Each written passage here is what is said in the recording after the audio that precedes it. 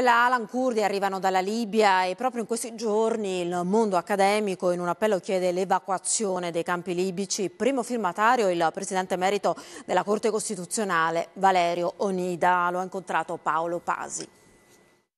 Civili in fuga dalla guerra. L'altra faccia della Libia sono invece i campi di detenzione, dove migranti e rifugiati vengono sottoposti a condizioni disumane, a violenze torture, a estorsioni comprovate da sentenze giudiziarie e da denunce delle organizzazioni internazionali.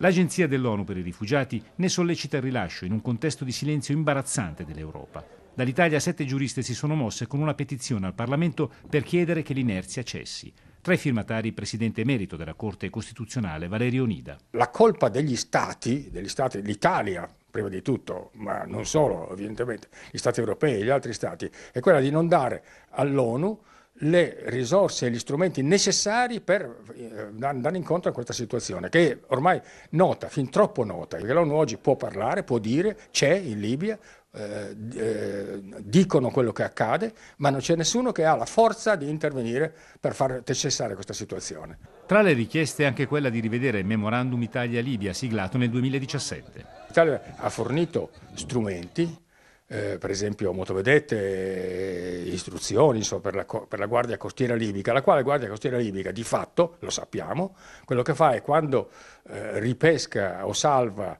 eh, della gente in mare, li riporta in Libia, nei campi di detenzione. Se l'Italia ha fatto questo, aiuta la Libia a fare questo, l'Italia è complice.